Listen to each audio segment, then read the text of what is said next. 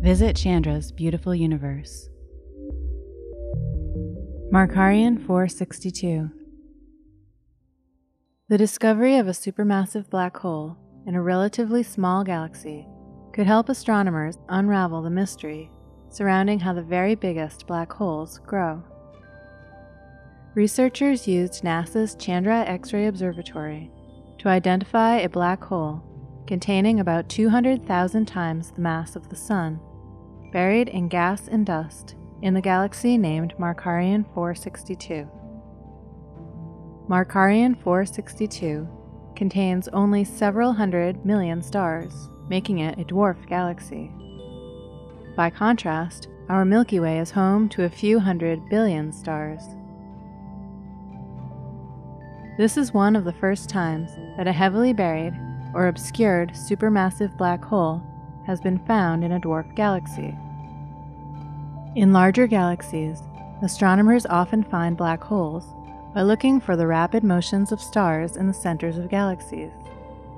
However, dwarf galaxies are too small and dim for most current instruments to detect this.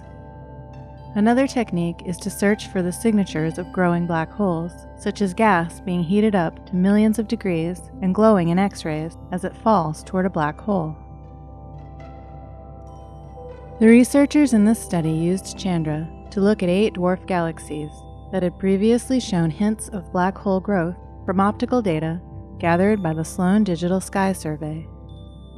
Of those eight, only Markarian 462 showed the X ray signature of a growing black hole.